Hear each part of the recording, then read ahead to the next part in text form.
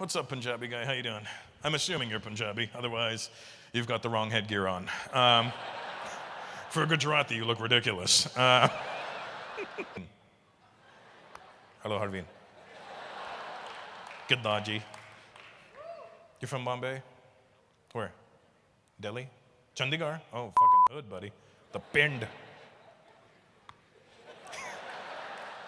I think Punjabi should be like the national language for swearing, because it really is so.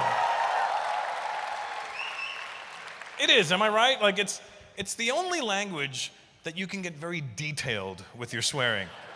The rest of the Indian cuss words are nice, you know, mother child, ooh.